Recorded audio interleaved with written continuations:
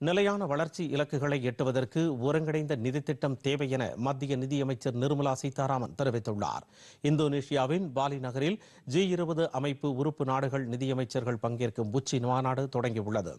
இந்த மாநாட்டில் கலந்து கொண்டு பேசிய நிர்மலா சீதாராமன் நிலையான வளர்ச்சி இலக்குகளை அடைய ஒருங்கிணைந்த நிதி மற்றும் தனியார் மூலதனத்தை பயன்படுத்த வேண்டியது அவசியம் என்றார்.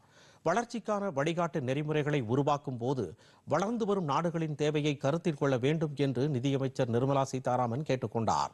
வரி ஏய்ப்பு நாடுகளில் நடவடிக்கைகளை ஈடுபடுவதை தடுக்க சர்வதேச அளவில் உறுதியான நடவடிக்கைகள் எடுக்கப்பட வேண்டும் என்றும் அவர் வலியுறுத்தினார்.